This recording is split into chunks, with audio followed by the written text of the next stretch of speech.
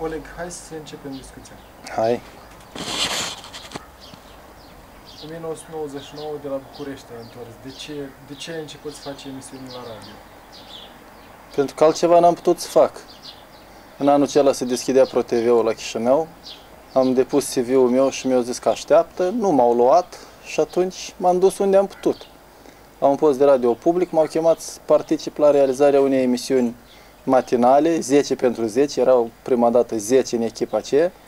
Eu trebuia să fac o rubrică inițial despre cinematografie, cum ne conveneam după facultatea de film. Și după aceea m-am specializat pe câte și mai câte. Am participat la o altă emisiune de tineret, făceam dezbateri și vorbeam despre mod sănătos de viață.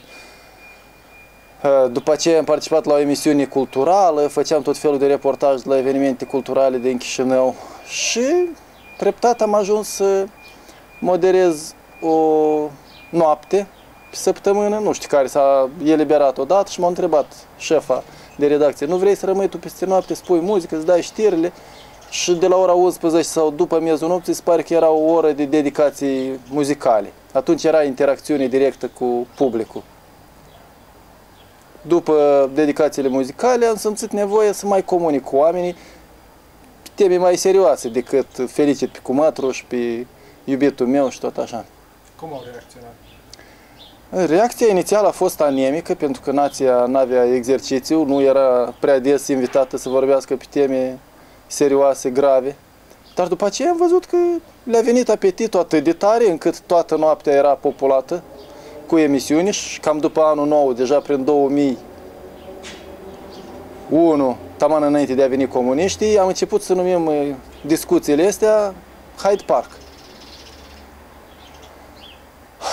Și pentru că le-a plăcut administrației mi-au mai dat o noapte și după aceea am avut până la urmă vreo trei nopți pe săptămână de ceea ce se numea Hyde Park, care a apărut așa ca o iarbă din asfalt, a răsărit fără ca să coordonez cu șefii, dar am început să o fac și lor le-a plăcut și m-au acceptat.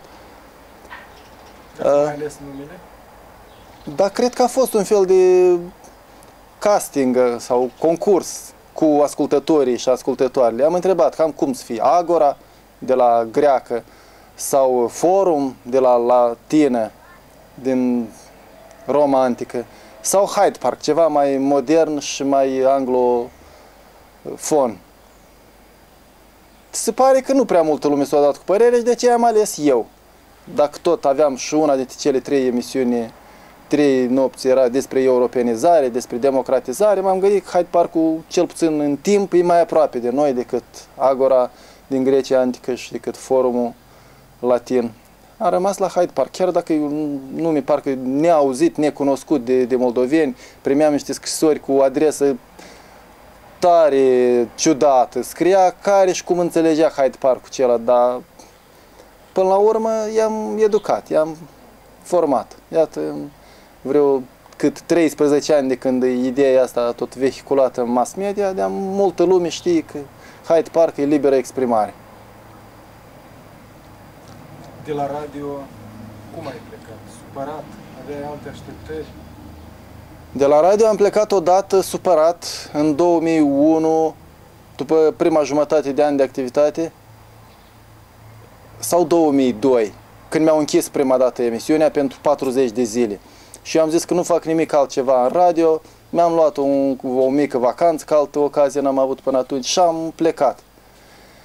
Pentru că ei primis, nu știu ce, plângeri de la cetățeni care s-au adresat unui deputat comunist și acela s-a adresat administrației. Aveți grijă că la voi după miezul nopții se întâmplă chestii ilegale sau imorale, nu știu ce ziceau ei. Și administrația mi-a arătat din deget și mi-a închis emisiunea. Dar peste o vreme m-au rugat să revin în radio pentru că ascultătorii, că atunci eram numai la radio, scriu scrisori, dau telefoane, fac scandal, erau gata să iasă și la proteste. Și deci prima interdicție a durat 40 de zile, în septembrie 2002 am revenit și am mai făcut-o timp de un an și ceva emisiunea. Uh, dar în uh, martie 2003, ascultătorii erau chemați la SIS, la Serviciul de Informație și Securitate. Ei sunau în emisiune și spuneau că au fost întrebați de ce vorbești la radio, de ce ai criticat uh, guvernare sau de ce ai spus cu tare și cu tare. Mm.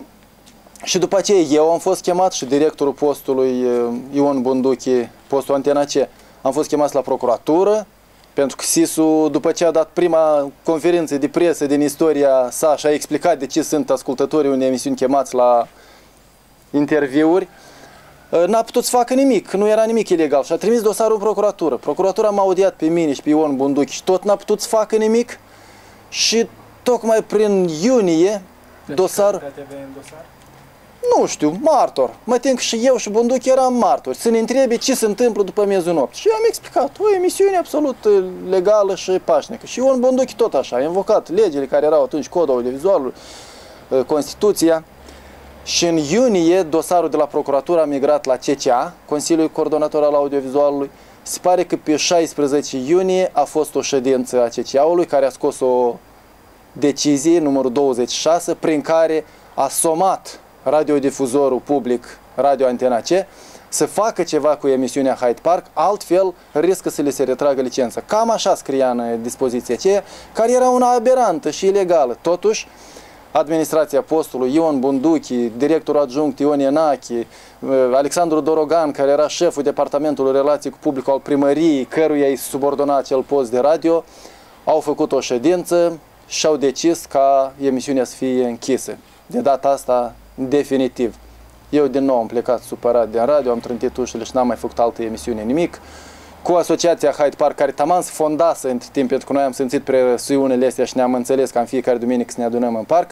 Din 11 mai 2003 ne adunam în fiecare duminică și păream uh, gazetuța aceea care se numea tot Hyde Park, se pare că după aceea a început să numească Curaj.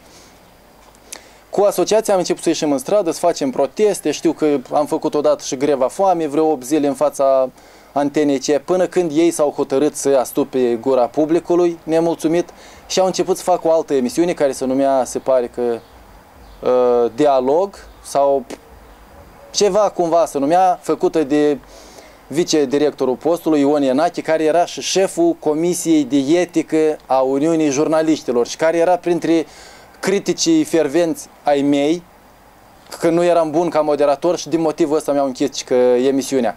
Dar tocmai ei, Comitetul pentru Libertatea Presei, din care facea parte și Uniunea Jurnaliștilor, cu jumătate de an mai devreme mi-au dat premiul unul dintre cei 10 jurnaliști ai anului, Mărul de Cristal, ca unul dintre cei mai buni. Deci, cum putea să contrazică în felul ăsta Ion Ienache? Da, bine.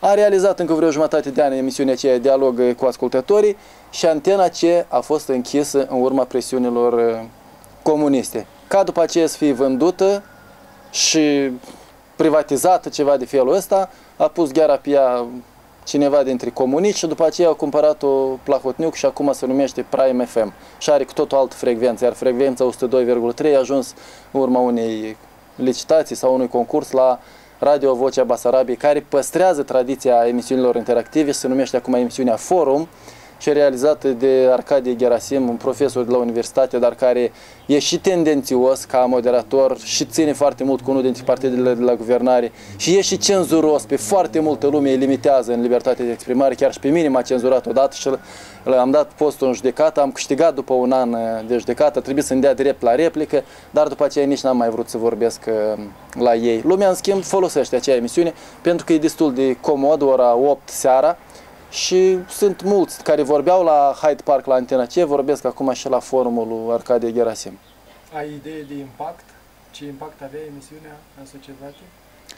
Impactul era enorm, altfel nu ar fi reacționat uh, nici breasla jurnaliștilor să mă menționeze și să-mi dea mărul de cristal și nici guvernarea comunistă, care, chiar dacă era după miezul nopții emisiunea, a simțit că lumea se mobilizează, că freamătă și că îi critică vehement și de asta au făcut atâtea eforturi, atâtea presiuni. Dacă 9 luni de zile SIS-ul, Serviciul de Informație și Securitate, a ascultat emisiunea, deci cel puțin un om de la ei, angajat din banii noștri, stătea și asculta emisiunea asta și făcea notițe și au construit așa un tom pe care după aceea l-au trimis la procuratură și la CCA, dacă au făcut ei atâtea eforturi, înseamnă că impactul era mare.